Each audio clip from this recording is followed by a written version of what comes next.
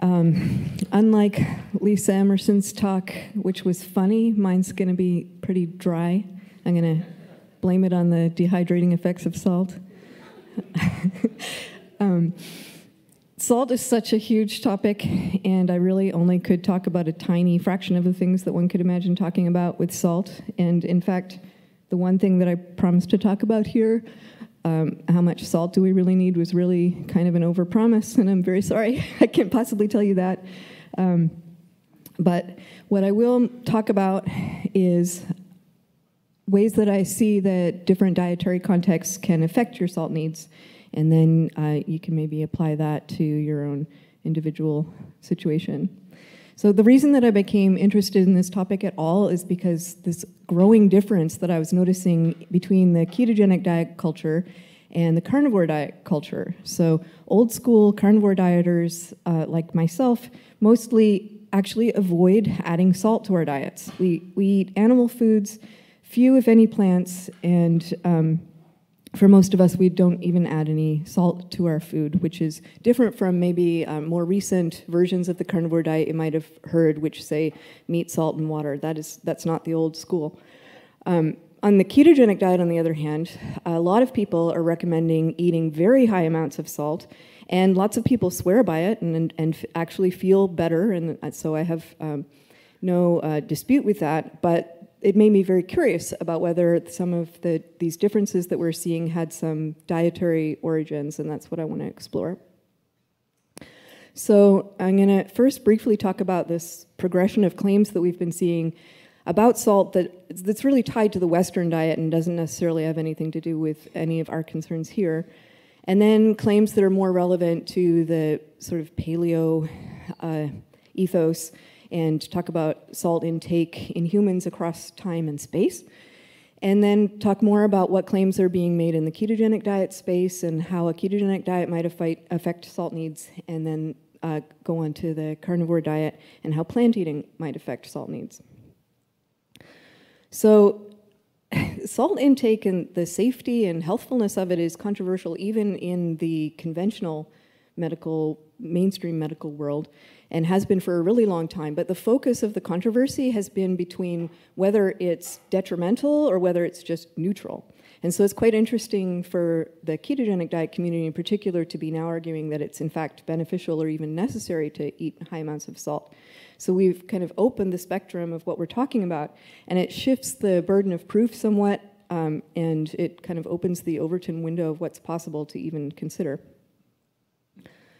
Um, so we have this kind of hypnotizing pendulum going on um, from somehow in recognizing the error of the position on the left that you must decrease your salt intake, we've now zoomed past the middle and are arguing for the right. And I'm going to try to argue that the right is also wrong. So the left side of the pendulum has mostly been about blood pressure, salt's effect on blood pressure.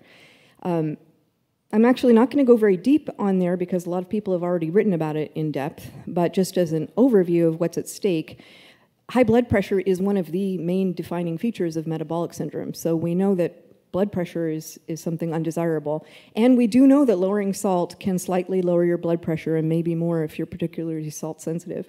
But salt doesn't cause metabolic syndrome, and if you, you lower salt, it, doesn't solve your metabolic syndrome. If you want to solve metabolic syndrome, you need to do something different. Um, so, one of the people who wrote about this was Adele Hite, uh, whom we lost this year. And I just want to take a moment to honor her memory. Um, she made this really funny Facebook post in 2015 Hello, it's meat. And she had a really great sense of humor and a piercing, sardonic wit and an exceptional capacity for nuance, and she'll be very missed. Um, I like to imagine she could be saying hello from the other side. So, as part of her investigations into the nutritional guidelines, she wrote a couple of posts on the topic of nutritional guidelines aimed at reducing salt intake. And one of her criticisms about is about the methodology, which I agree with her quite a bit. Uh, once a food item becomes a target of this kind of policy, the evidence after that point seems to not really matter how much sense it makes as long as it's consistent with the recommendation that's already in place. Um, so once you've decided that salt being related to blood pressure is um, somehow actually causal of metabolic syndrome, and you put that idea into policy, then the gymnastics start. So we have this beautiful example here um, that's actually used to talk about why salt is causing the obesity crisis. So we have this dubious looking linear encapsulation of the relationship between salt intake and fluid consumption, which actually there's a long history of that belief, but it now seems to be not true, and I'll talk about it a bit later. Um, but doesn't certainly doesn't look linear to me. But I'm going to actually read what they say in this article because it, it's just so so um, insane. uh, whilst salt is not a direct cause of obesity, it is a major influencing factor through its effect on soft drink consumption. Salt makes you thirsty and increases the amount of fluid you drink. 31% of the fluid drunk by 4 to 18 year olds is sugary soft drinks, which have been shown to be related to childhood obesity. Reducing salt intake could therefore be important in reversing the current trend of increasing childhood obesity. So there you go salt causes obesity. um, okay, so I don't think we really need to argue too much more about that, at least in this community, but a very influential book that has had impact in this community came out about five years ago that made a swath of claims in an attempt to support its thesis, which is that not only is salt not harmful, but it's actually harmful not to eat it. Um, so examples of the claims, um, and I'm not going to address most of them, uh, include, for example, that a low salt diet increases insulin and thereby can cause insulin re resistance um, that because a low salt diet activates the renin angiotensin aldosterone system, this could lead to heart failure and kidney disease. And uh, it reduces sex drive and fertility, increases erectile dysfunction, sleep problems, etc. Um, and then, um, because if you think about that, it wouldn't be very evolutionarily consistent if we had a low salt diet in the past um, and it was causing all these problems to not get a very high amount of salt, right? So uh, it all kind of hinges on this other claim that the book starts with that despite the majority of scientists believing that our evolutionary ancestors evolved on a low salt diet, uh, the author claims that we actually evolved on a, on a high salt diet. So the, these claims have actually been uh, addressed extensively elsewhere, and you can read some critical reviews here. The first one here is a fairly quick and actually quite decimating, I think, look at the quality of evidence that you, that's used specifically in trying to make that claim that we evolved on a high salt diet. Um, that's from Matthew Dalby, who I know through this community, actually. Um, the second one is uh, an extensive set of counterarguments to many of the other claims throughout the book, and I actually don't think I agree with all of the counterarguments. But that article uh, is it provides an amazing bank of studies. So if you wanted to look into any of those specific claims and see how um, uh, where the evidence lies, you could look and see like all the for and against for it that the person has put together. So I'm leaving that for an interested reader. But because all of the all of these claims are not diet specific, they're all tied to the Western diet. It kind of makes it irrelevant, especially since a lot of the evidence has to do with either epidemiology or other kinds of observations in people eating a grain-based diet.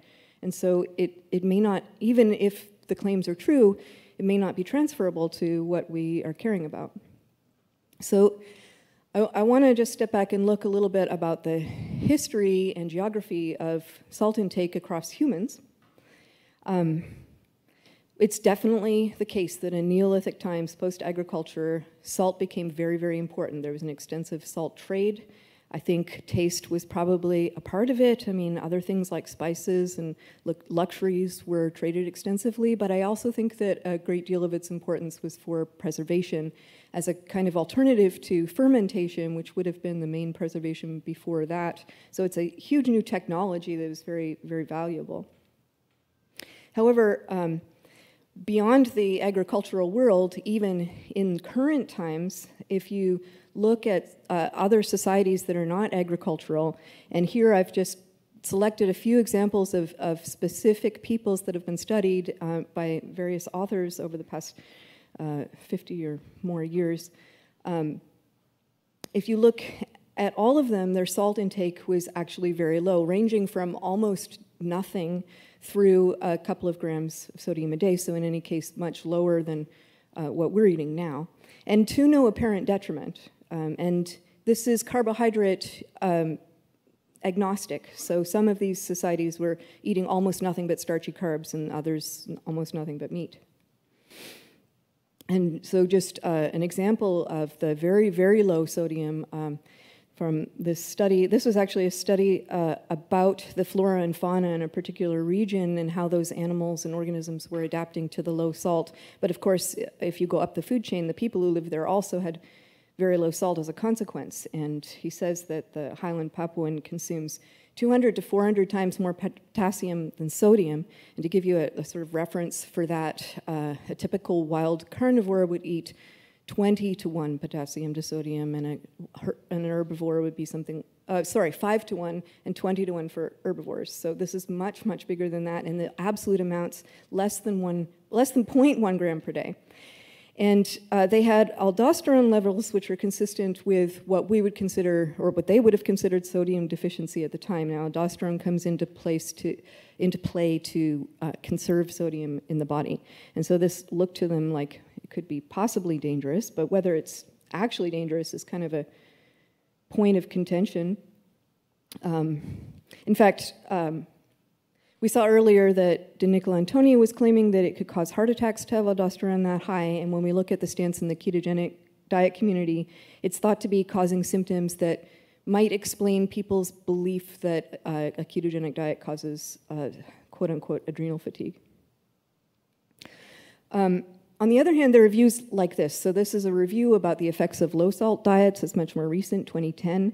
And the author is looking at all the physiology, and he concludes that, um, that, it, that it seems like the sodium restriction is, is making uh, changes in adrenocortical function relative only to salt retaining hormones. So it's increasing the production of aldosterone, but the available evidence does not suggest that this is associated with diminution in other adrenocortical function, and it follows that the ability to withstand stress should in no way be diminished by a decrease in the present general levels of salt ingestion. So, in other words, his view is that the function of aldosterone is specific to maintaining salt balance, and it's just normal in a low salt context. And what I think these ethnographic studies show is that a low salt diet is normal. So in, if a low salt diet is normal, then maybe a high, higher aldosterone level is also normal. Um, and if we look at what people have estimated pre-agricultural sodium intake, it's also quite low. Uh, one person has estimated it below a gram per day. And Cordain and colleagues say that there's, there's minimal or no evolutionary precedent in hominin species before the Neolithic period of this 10 gram per day level of high salt consumption. So let's look at salt needs on ketogenic diets. Um, Virta Health, where Stephen Phinney and Jeff Volek uh, are advocating for and educating about nutritional ketosis, which they have done for a very long time, do advocate for salt especially for keto adaptation, which is a relatively short period, but then ongoing in an ongoing way for nutritional ketosis as well. And they make this interesting claim that I alluded to before that um, these symptoms that some people report when they're not feeling well on a ketogenic diet and they call it adrenal fatigue are exactly the symptoms that you would expect if you had a sodium deficiency. Um, but they argue, they argue this on two premises, and the first one I'm, I'm not really enthusiastic about it. It's, it's an epidemiological argument, so they have this chart showing uh, a mortality curve based on um, salt excretion from, the, from a certain day, and then um, based on that, in a grain-based population, they say that five grams, which is what they recommend, is the sweet spot for salt intake. But I just, I don't find it very compelling because I don't think that we, that this kind of information can tell you anything about what's best on a ketogenic diet, even if it is relevant to a grain-based diet. But what's a bit more persuasive to, to me is their um, talk about the natriuresis of fasting, that's um, sodium urine excretion. Um, there's a long history of literature on that uh, from fasting, which translates somewhat to the ketogenic diet. And so I'm just going to point to a couple of um, landmark studies along the way of the topic and things that they pointed out that are informative. So there's this very early study, one of the earliest in 1960. Um, they're looking at here a comparison between the sodium excretion during a four day fast compared to four days of a very low sodium diet. The low sodium diet is the very steep one, where the excretion is very high at first, um, which is kind of counterintuitive, um, and, but then it drops off very quickly. Whereas on with fasting, it starts out about the same, also very, very high, and drops off a little more slowly. Um, the reason that they were looking at this actually wasn't so much to compare it to the low salt diet, although they knew that was of interest, um, but it's because they had noticed, people had noticed that when you go, when you fast, you lose an enormous amount of weight at the very beginning. And we all know now that that's water weight, but one of the reasons that we know that is from studies like this. Um, and, and what he says basically in the discussion is that the weight, this weight loss happened even though people were drinking as much water as they needed. So it's not altering some kind of normal mechanism um, for maintaining isotonicity of the body fluids. That means for the, keeping the concentration of salt and water in the extracellular fluid that has to be kept in a fairly tight range. Um, he says, it seems likely that the changes in fasting would be of such a nature as to provide the optimum physiologic adaptation to this metabolic state. So in other words, he's saying that um, we're, we're excreting salt so that we can get to the level that is more appropriate for this particular condition. We're not losing salt that we, that we actually needed. Um, and he goes on to say that maybe in our modern context, with so much salt availability, we have this great excess, and the excretion is just a kind of reset to what our extracellular fluid is supposed to be under that different state. Um, here's another study that I think is really interesting because what they've done in this case is they've done, it's just three days of fasting again, but they've done different levels of sodium intake. And so they're kind of trying to make up for the excretion. So they have um, 50 milliequivalents and 100 milliequivalents. 100 milliequivalents is two and, about two and a half grams of sodium, a little less, so it's like a teaspoon of salt. Um, and, and what you see is that over time, over, the, over three days, the excretion goes to match and exceed what's being given. So if you're given 100, you excrete 140. If you're given 50, you excrete 100. If you're given none, you excrete 40. And so the balance seems to maintain around this negative level. Um, and so it seems like we're kind of chasing an excretion and it doesn't, it doesn't really benefit you to try to add more. Um, Here's a study where it shows what happens if you let this go on longer. And it looks like it takes about a week for that high level of excretion to stop, and then you go into approximate balance. You still need a little because you still will need some sodium uh, replacement, even no matter what condition you're in. So uh, the balance isn't completely zero, but it, it, it settles out. Uh, and I think that supports the idea that in an ongoing situation, the body can adjust to these lower sodium levels. Um, and then there are studies showing uh, what happens when you try to add back food. So in this one, um, the two bars, one's sodium and one's potassium, and the dotted line that's higher is the sodium intake that they were given. And so we've got control as before the fast, and then an average of what happens over three days of fast, and then refeeding with 600 calories of various macronutrients. So uh, if you eat carbohydrates after that fast, you'll immediately go into positive um, salt balance. And, and in fact, uh, it's not shown here, but that positive balance goes way higher than normal so that you're retaining a lot, which can possibly be a problem for some people. And when they added protein back, it went to almost neutral. And when they added fat, so made it even more ketogenic, but without any actual um, protein or carbohydrate or ability to add carbohydrates, um, it, the excretion went even higher. And then just another example of that, we've got a five-day fast where you can see that the peak excretion has already been hit and is starting to come down, and then when they add protein, it just goes right into positive sodium balance. And so that can maybe shed light on what would happen if you were in the context of an actual ketogenic diet and not just fasting, which is obviously a bit different. Um, and again, so this, this sentiment gets repeated. Uh, the, uh, these authors say the natriuretic stimulus of fasting can be a profound one, and it continues until an appreciable degree of contraction of the effective extracellular fluid volume occurs. And after this initial phase of natriuresis, avid sodium retention is the rule. Um, so maybe there's just an excess sodium required to support all that fluid that's not present in the fasted state. Uh, so so the story looks like this. You, you start a ketogenic diet, and that leads to a release of extracellular fluid and a negative sodium balance despite intake, uh, regardless of what you do, um, until you reach a new um, balance level.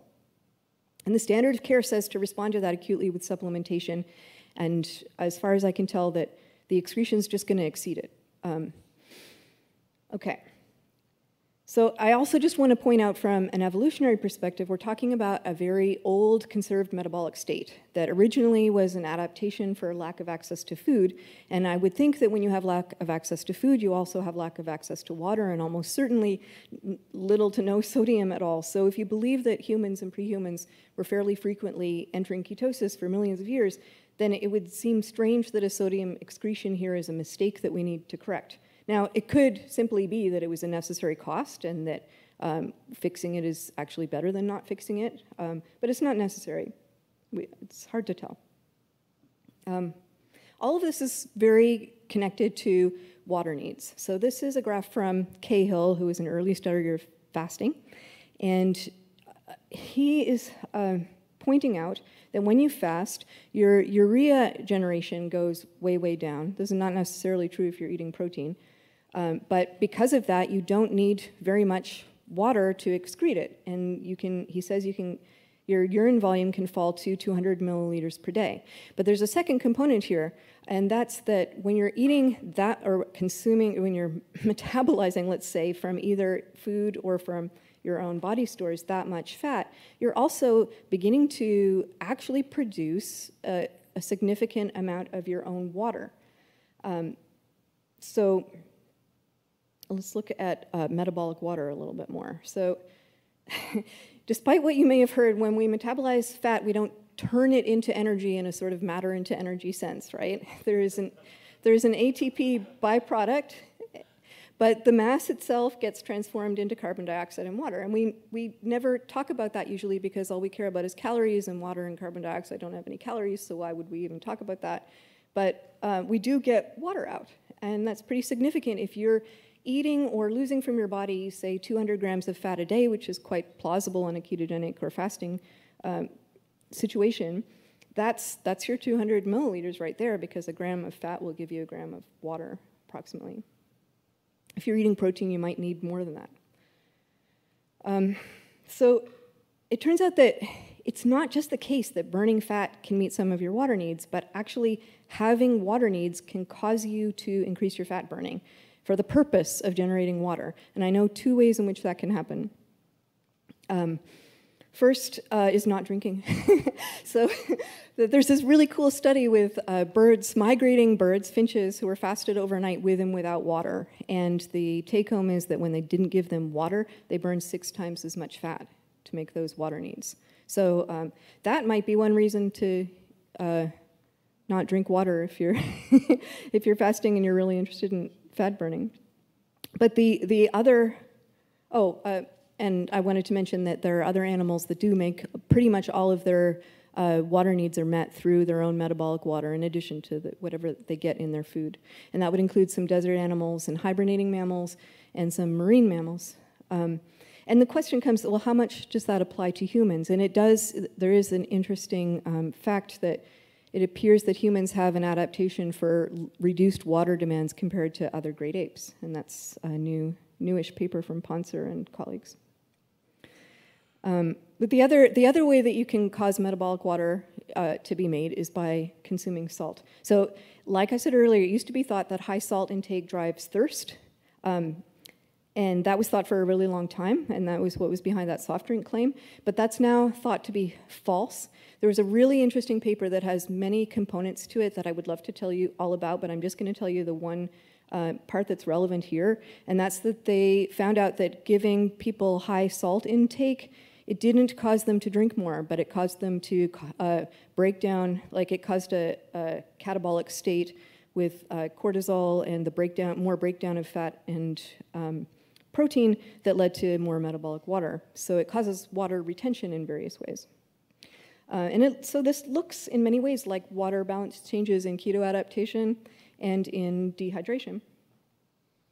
Um, so maybe that's also a reason to try to consume salt. So you can drive fat oxidation by um, playing with those osmolality needs to keep your salt concentration in balance. Um, to look at the other side, um, does, does drinking more water increase salt needs? It's not clear to me that it does because I think that we can regulate our excretion of water e equally well, uh, but there may be certain um, like athletic uh, situations Tim Noakes has a whole book about this called Waterlogged, in which uh, there can be a lot of danger from drinking a whole lot of water that's not properly salted in the athletic community.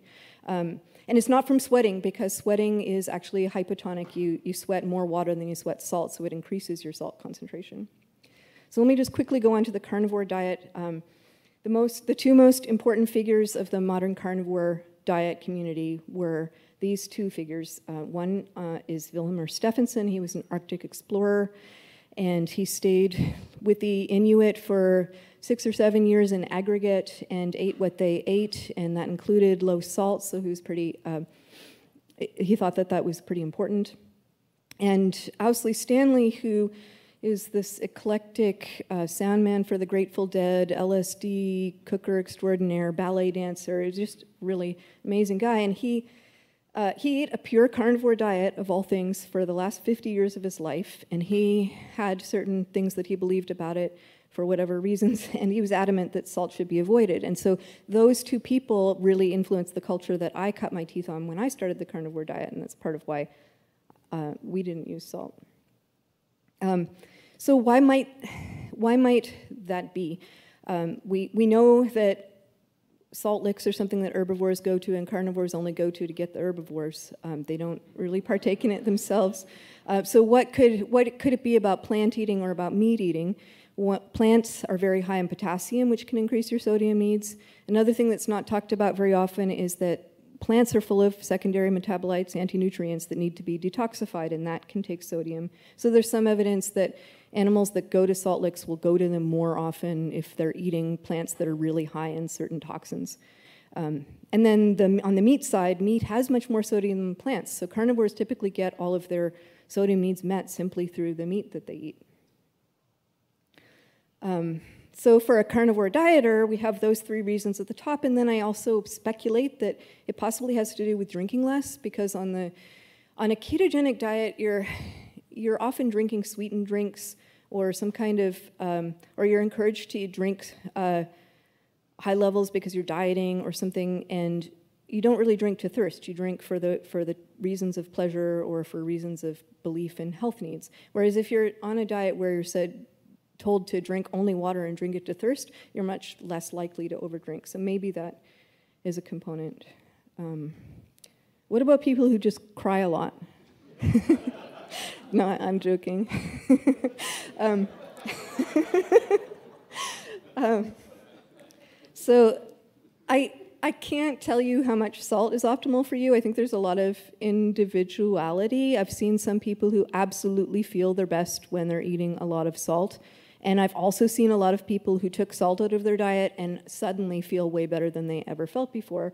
Um, so all I can really do is point to these patterns and see if, if it's helpful somehow to figure out why, why those things might be true. And it's interesting to notice that the only two um, groups that I know of that have this high salt intake are this agricultural grain-based diet and the ketogenic diet, um, one for, I don't know, historical reasons, and the other, well, also for historical reasons. Um, Uh, but uh, th these are the factors that I think might have something to do with it, water intake, plant intake, meat intake, and uh, culture.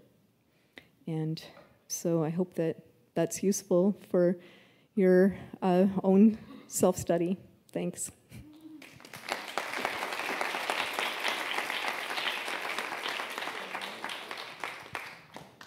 Thank you. That was a great presentation. Your conclusion seems spot on, especially given that thirst and sodium intake are so regulated at a very basic level. You would expect that the thirst for water and taste for sodium would be the ultimate determinant of someone's needs. I had one comment and one question. Um, so, on, you showed each carbon generating one, accounting for one water molecule in metabolic oxidation, but that neglects the two water molecules that are consumed for each carbon in the complete beta oxidation of a fatty acid, which is a net loss of water. Um, so one water for each uh, acetyl-CoA generated in beta oxidation is consumed, and then three waters are consumed in the citric acid cycle. So I'm not sure that beta oxidation can actually account for that metabolic water. But my question is on these ethnographies. So I don't want to seem like I'm dissing ethnographers, but it seems like ethnographic research has its fair share of extremely sloppy, missed observations that seem obvious to those of us whose primary concerns are nutritional. So, two things that come to mind are the people who estimated that the Hadza eat 150 grams of fiber a day because they neglected to note that they spit the fiber out into the dirt, and the people who estimated that the Tsimane eat 96% carbohydrate uh, which is a high carbohydrate diet, but they only measured what they brought back to the camp and didn't measure anything that they were eating when they were out hunting. Um, and so earlier in this conference, uh, two, two days ago, I think, uh, Pedro Carrera Bastos noted that Staffan Lindeberg uh, noted that, the, that in their cooking water for their tubers, which is consistent with what you were saying about a high carbohydrate diet needing more sodium, they would include enough ocean water that they got 2.3 to 3 grams of sodium per day from it. And so, you know, what are the chances that these ethnographies have missed something like that when they've been studying it? I, I wonder if you have any comments on that.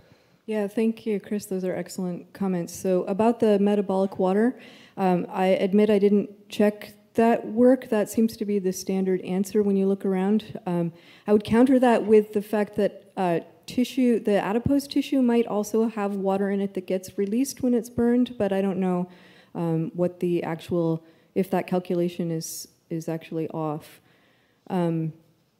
Um, as to uh, ethnography, you're, no, you're absolutely right. Um, we not only do we make mistakes, but we see what we want to see. Um, and so, if low salt was considered some kind of panacea, then it would be natural for people to overlook sources. Um, so, those, those are excellent points. Thank you. Hi, Amber. Hi. Regarding the point that y- you made that uh, um, sweat is uh, hypotonic, um, I'm a little confused at that point. If I understood you correctly, it would seem to turn a lot of sports uh, nutrition and hydration completely on its head. Uh, and Yeah. that actually, you know, if you're reta- retaining more salt, then you are losing fluid. Then, you know, replacing it with water would seem to be completely adequate. Right. Um, and so I thought that maybe the situation could be that you, you know, we're, we, instead of talking about like uh, perhaps a, a purely a salt depletion or overabundance, you know, that maybe it is uh, more of a um, that that we're missing things like magnesium or potassium, or there's kind of just maybe an imbalance in the way that we feed ourselves uh, in in uh, uh, modern diets. Right. So, yeah, I think you're absolutely right that the uh, whole industry is dependent on that belief. Um, that's partly what Tim Noakes's book is about, and um, there there is a, a variance in the amount of sodium that's excreted in sweat, but it seems to be related to how much you take in, in the same way that urine excretion is higher if you take in a lot. So, so if you say, well, you're you're losing all this salt so you, in your sweat, so you have to replace it, that might actually just be a, a, a feedback of with the wrong causality. But I've also seen some people point to genetic differences, and you're absolutely right. We lose all kinds of other things in sweat, like Lisa was mentioning that we lose iron in sweat. Um, so um, maybe more complex than than I put it. Uh, but I do think that it, uh, it does have huge implications for our practices in endurance sports. And um, one of the things that Noakes points out is that persistent runners um, in societies that do that ha- go to great pains to not use a lot of water on their runs because they, carrying it is a detriment. They need to be as light as possible. And combining that with the with noticing that humans seem to have this extra ability to need less water, um, it's kind of plausible to me that we're over drinking in our exercise. Right. Thank you, Amber. Good presentation. Thanks. Hey, Amber, great talk. Thank you. Um, I have a question that I guess is kind of selfish because it's really for my own benefit after this, but um, Five grams. I uh, recently read a book from Rick Johnson at the University of Colorado, Why or Nature Wants Us to Get Fat, or something Yeah, along yeah. those lines. And he talks about this pathway, which I'm going to butcher, especially after following a question from Chris. But um, uh, he says something along the lines of, you know, if you have a high blood osmolality, that it's going to trigger this polyol pathway that's going to push glucose uh, and form uh, fructose, which might lead to like increases in obesity as well as uric acid, which might have the connection to blood pressure and stuff like that. So Right, my exactly. Selfish, selfish question is, I'm a guy who saunas or goes on a hike or something, and I'll come home and rehydrate with like a, like a electrolyte package that has high sodium of some sort. And I'm wondering if that'll put me in a state of high blood osmolality that if I go have a sweet potato or something thereafter, am I actually really driving that pathway or? Okay, yeah, so I actually had some slides on uric acid that I had to cut because I've talked about uric acid here before. Um, and one of the hypotheses that I, I didn't really talk about much on that uh, talk was the blood pressure hypothesis, and, and specifically because we were in this low sodium environment that we needed that uric acid to bring blood pressure up. But um, the other thing that I that I went into in that talk was that uh, the idea that there are these pathways that are that are that lead toward the metabolic syndrome kind of uh, pathways don't seem to necessarily be in be relevant in the context where of a healthy metabolically um, healthy person who doesn't already have some kind of diabetes going on. And so while I think it's it's true that especially in someone who's already on the path to diabetes that that polyol uh, the fructose generating pathway would become triggered. I'm not necessarily worried about it in someone who is otherwise healthy. Awesome, cool.